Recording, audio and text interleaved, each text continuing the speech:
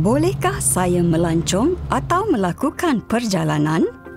Semasa fire danger period, saya boleh melancong tetapi saya harus berhati-hati dengan keadaan cuaca dan fire danger ratings bagi kawasan yang saya akan lalui. Adalah idea yang baik untuk menyimpan nombor talian kecemasan Vic Emergency, muat turun aplikasi Vic Emergency dan dengar radio tempatan untuk amaran. Sekiranya keadaan berubah, saya perlu bersedia untuk menukar rancangan perjalanan saya.